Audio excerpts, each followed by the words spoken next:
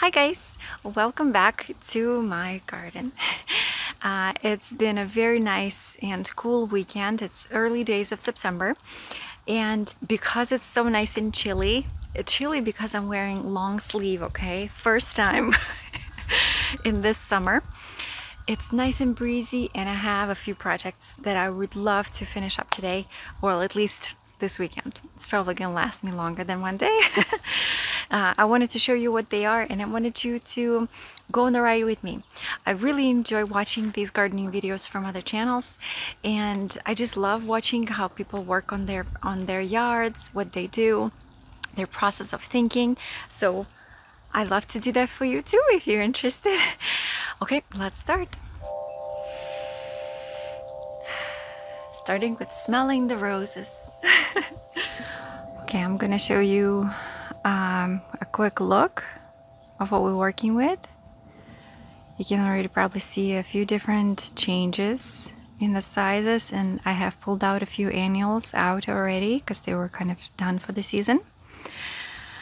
Uh, you can see a few plantings right here that I'm excited about. This is the rose that I talked about a little bit. It's Firefighter Rose. It was in the pot, was not doing great. So it's already about four feet and I've planted it about a foot down a month ago. so, so it has just taken off. I'm very excited about it. I've also planted, it also smells amazing, guys. I can't even tell you, like, this is called Firefighter. I think I will definitely plant a couple more throughout my garden uh, in the coming years if I can. Easygoing, disease resistant, beautiful, reblooming blooms. Just really pretty. I'll show you a little bit with my little waterfall. okay, I've also planted this um, red fountain dwarf grass. I thought it would be a little smaller. Um, I don't know if I did it right. I probably didn't. Um, I had beautiful gladioli here, about like 10 or 12 of them and they bloomed out great but then I'm like what am I supposed to do with the spikes? They don't really look great. So I planted this one here to kind of camouflage it but now it looks a little cluttered. But now I'm also looking at this rose and it's gonna just take over this whole area anyway so you're not gonna be able to see very much. So I'm kind of okay with it for now. Also don't know how I feel about the different shapes and sizes of my roses here. Look they're all different sizes this one's a newly planted one. It shouldn't be too big, probably four feet, um, the highest. It's called Barbra Streisand and it's beautiful. It's pink, kind of um, lavender pink. Okay, so the few changes that I need to be doing and kind of one of the main ones. Do you see this beautiful loropetalum? This is called Purple Majesty. This one's doing great. I have planted it and it was at least two times less size than that. And this is about two feet wide and high right now. So it's doing great. I've also at the same time planted this one, that little guy. And it's not doing very good. So I'm assuming it's because this tree is way too shady for it and it does get a lot of morning sun probably about two to three hours and I have a feeling it's just not enough for it so I'm gonna dig that out and instead I wanted to find something um, also evergreen that will bloom in winter because uh, like this one will drop the leaves the rose will die down. So like this whole corner right here it's not going to be here in the winter.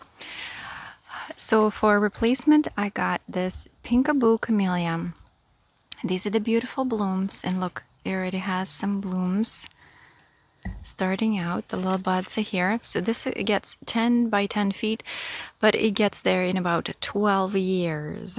So by then you know we're probably going to move out i'm sure. Or if not you know it will be great. There's definitely space for 10 feet right there and just about 10 feet and that's it. This is fragrant variety and it says that you can uh, float blossoms in a bowl to enjoy the fragrance indoors. And i was like okay, I, I need to do that. um, because, you know, you don't want to cut the whole piece here since it grows so slowly that will cost you like a season of growth if you just cut the flowers on the stem. So instead, you just cut the flower itself and you just kind of let it float in the bowl. And I thought, okay, I have got to try that. oh, look, it actually matches my color nails right now. And then this poor little Loropetalum, yeah, you see it's really not getting any sun at all. And that one is gonna go into a different area right here. I think it's gonna look good with contrasting with my plum tree here. And with these small little breath of heaven that are gonna get pretty huge. I have planted them very small because I'm trying to save money on all, on all of the little shrubs. So I buy small, then I just have to wait a little longer. Uh, we're still planning on cutting down this guy and the shrubs behind it and these two trees. So I'm trying not to plant anything here. So it goes right here. I think it's going to be beautiful, kind of five by six uh, huge shrub. It's gonna look great. Daryl, while I was gone, has been keeping up with de-weeding and taking out this stupid periwinkle that previous owners have planted. Now it has taken over. We have planted these three shrubs that have beautiful yellow flowers and they get pretty huge. I wanted to do like a little cascade of them. They also were very inexpensive and they're doing good in our area. This is the look at everything so far in our garden. I'll just show you a little, little glance. Okay. We have a lot of work, you guys, to do, of course. Here's another beautiful camellia that I have planted this year. It was on a huge sale at the end of the winter season. So after it bloomed out, basically they had it on like half off. And I just ran and I grabbed it and I was so excited. This one's also very beautiful and it's doing great right here in kind of a, well, almost full shade. Okay, another small project is to dig out this rose. This is a beautiful rose that's called Amazing Grace. I got it from Heirloom Roses. They have their own root roses and it came like very tiny like this. So it's going to take a couple years for it to like um, become established and I'm okay with that. But right now I need to replant it because it, it doesn't get enough sun. It's not doing the greatest in here. It's still very tiny and it's uh, about three, three months since I planted it. Just not a great spot for it, the bottom line is. Okay, time to clean up this whole area. I'm, we're gonna dig out a couple plants in here.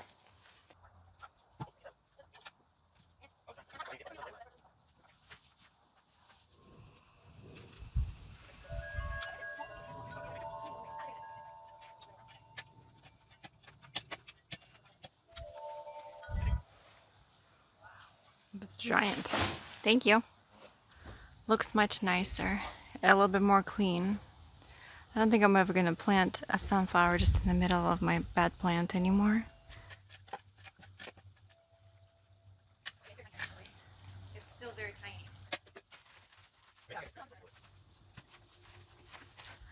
Alright, so the rose is planted. It's very disgusting there. You can see just how much standing water we get. You can actually see how swampy everything is. So whenever I plant roses here, I build them up off the ground. Uh, this time we gave it about, not actually as much as I thought it would, but you know, what, what am I going to do? What am I supposed to do? This is what it is. Okay, so me and Mila are going to do a little bit of things here. We harvested the sunflower.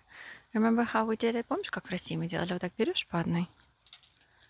И сюда так снимаешь. Давай. So Mila gonna get some of the sunflower seeds and then we're gonna uh, roast them. And I'm gonna switch these plants. This plant I have tried so hard. it had spider mites. It actually had new growth, but it would never come through. And then eventually just this has happened. And I've been watering it and fertilizing it and still just, it's just dying. So instead I got this one for five bucks, an English ivy. So I'm going to plant that in there.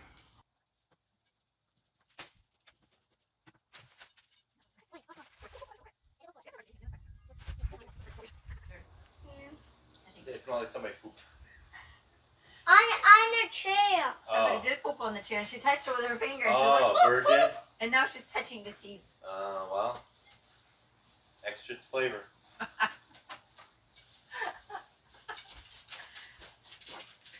Childhood.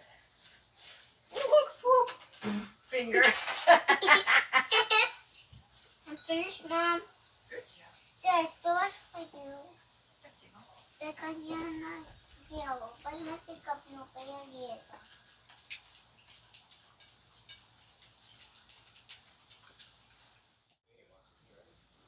No. So this is the nighttime.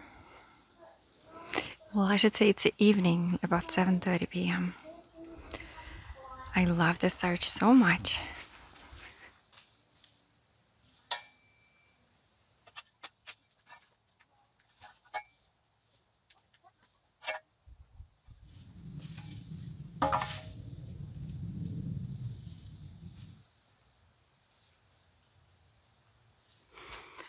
Okay, so I planted the loropetalum in here. you cannot see it's so dark. Uh, now it's time to go to sleep and get ready for bed. Hey guys. Okay, so it's two days later. that day, I went to pick up Mila after I recorded the video. I started doing some projects and like the day got away from me. So I was able to plant only a fringe flower shrub. And then that was it. It started raining and it rained for two days. It just stopped raining today. Um, so while it was raining, basically, I was really in the mood for all of the fall stuff because it's like early days of September. And in our household, okay, we decorate. Uh, September, I decorate uh, for fall. And then in October, like first few days of October, we decorate for Halloween. Then we take out Halloween at the end of October, like basically like November 1st or something. And then we keep everything from uh, for just October decorations all the way through Christmas almost. Like we do a break uh, for about a month be- between um, Thanksgiving and Christmas. So look at this. Have my wreath. I'm really one of those people who doesn't really like too many fake flowers. So I prefer like real ones. And these are um, like a dried up uh, wreath. And then I made this sign last year. I didn't do it myself. No, I went to um, like a paint night, you know, where you get some wine and pizza, and then they also teach you like some kind of craft. So I did this craft. It says "Hello Fall." so I'm gonna go decorate my outside. So while my spaghetti squash is baking, it takes like 40 minutes at almost 400 degrees, I believe. I think so. Uh, so while it's cooking, I'm gonna decorate a little bit in here. I don't know if Mila's gonna help me. She might. We'll see.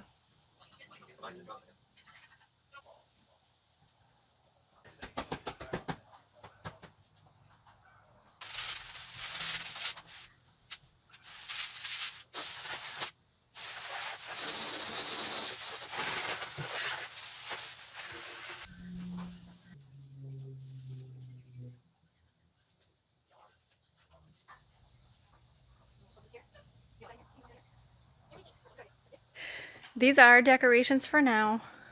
Again, we'll have more for, for fall once the pumpkins start rolling in. We start adding them right here, right here. Officially, the fall is starting. okay, here's our wonderful spaghetti squash. Okay, so this is my plating for today. We have some Brussels sprouts uh, that I made yesterday. Then this is the spaghetti squash with the pork and basically tomatoes and carrots and onions and garlic. And then this is noodles. I like to mix in mine with the with this and it becomes basically like a vegetable with a little bit of carbs. Delicious. Now continuing to up there to plant the camellia. Since i already took out the loropetalum fringe flower so we're gonna make a bigger hole now there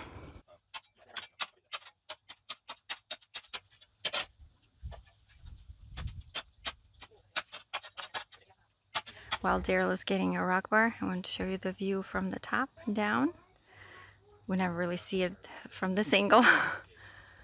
so you can see it like this too.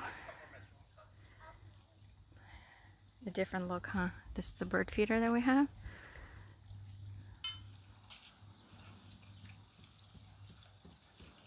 Oh, it's a big rock. So while Daryl is trying to get that rock out, I'm going to clean up this area a little bit. You, know, you want to help me pull out some of your old flowers right here?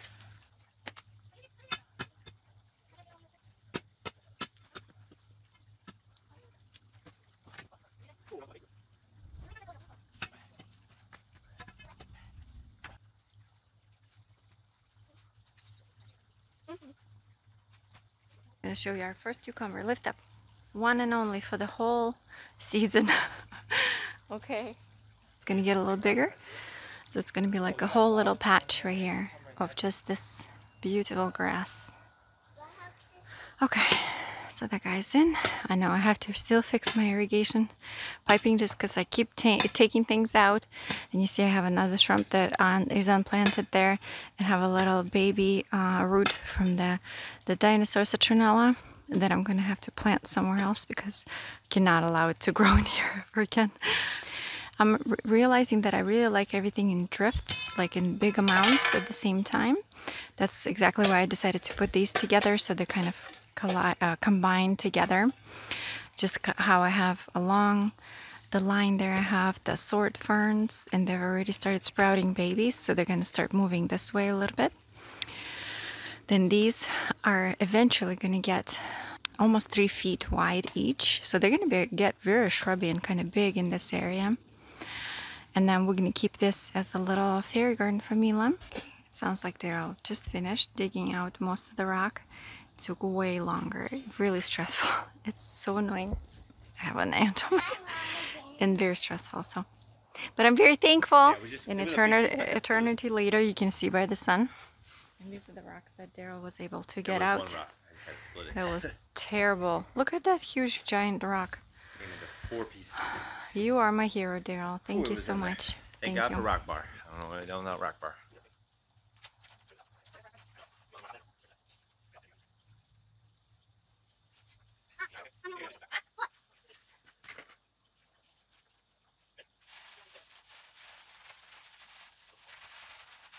All done.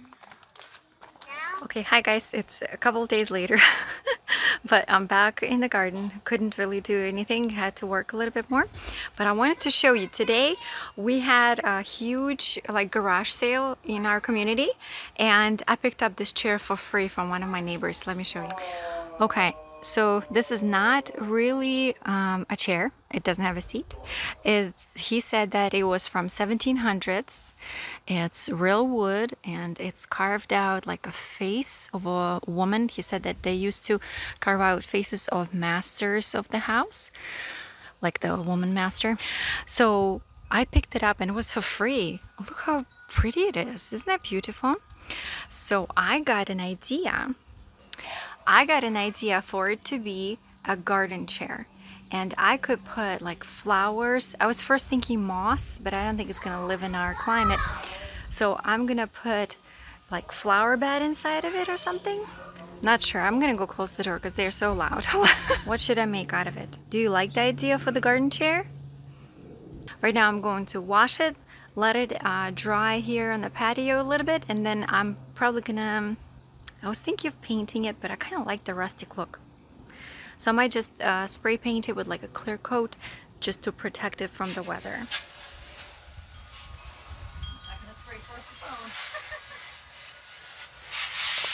It doesn't look too bad. It actually looks really nice, but it has these weird like glue marks almost. I don't know what that is, but it wouldn't come off. I'm so scared of lead paint. I don't want any of it. that I'm like really don't want to touch like with the scratch or scrub it at all. I don't really want to do that. So, okay, I might need your opinion actually on that. Lately I'm asking you for a lot of opinions, but it's really cool chair, isn't it? I don't want it to be in the house just because the face is a little bit, you know, creepy. But I don't know. What should I do with it? I'm really thinking about it now because I know the seed is pretty easy to find. Maybe it's just not going to be a perfect size, you know, but it's all fixable and doable. Or again, should I just keep it in the garden and make it into a beautiful, um, like a flower bed? Literally put a, a huge pot in the middle, the one that would fit. Maybe find something close to the color and then have beautiful flowers that will kind of pour out out of it. So I really wanted to plant a couple of things too. I'm going to show you. Okay, so I got an order of proven winners. Uh, this beautiful Superbena plum vine verbena. This is the second day. it basically showed up almost like this looking. This one's completely dead. I've been watering it twice a day and it's very wet as you can tell inside, but it just didn't do great. My original plan was to actually uh, dig out these lantanas because they look very messy. I don't know. I really wanted something that will cascade over the rocks and I guess they are doing that but I was kind of hopeful for a little bit more color then I also got this little lime um, hydrangea, little lime. So it's a smaller shrub. I know there's limelight uh, hydrangea, but this is little lime. And it's supposed to grow to about up to five feet when it's fully established, which is not that bad tall and wide. So it's a pretty big bush, big shrub. So my thought was to plant it here because we have a lot of standing water here. We actually have a, um, a pipe here somewhere under the weeds.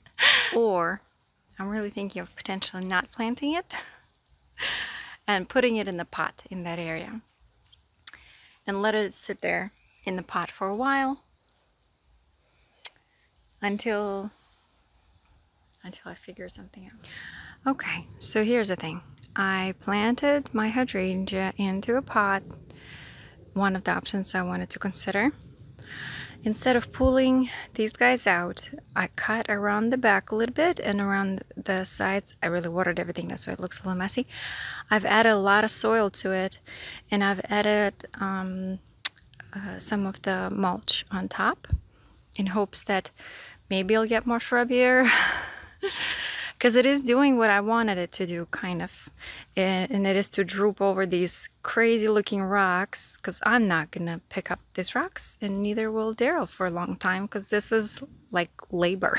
So like not just labor but like back breaking labor and um, some of us already have a broken back. So I'm going to keep these three just as they are.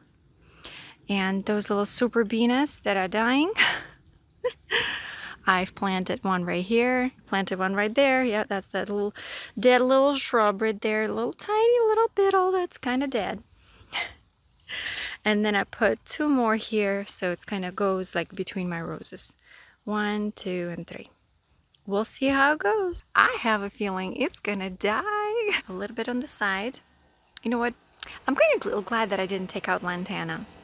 I would have been very sad because it is one of those beautiful uh, trailing plants that I adore. Every time I pass somewhere and I see lantana, this purple lantana kind of cascading, I'm like, oh, that's so pretty.